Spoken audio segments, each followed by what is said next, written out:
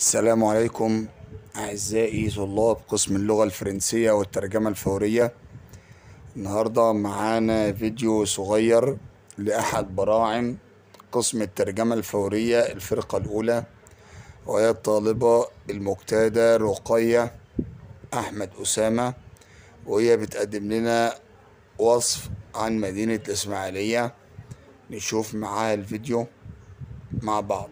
La ville d'Ismaïlia a été surnommée le Petit Paris. Pendant une prison dessinée par Escule le Khedive Ismaïl, il a fondé une thermie euh, de planification euh, d'architecture similaire à la ville française euh, de Paris.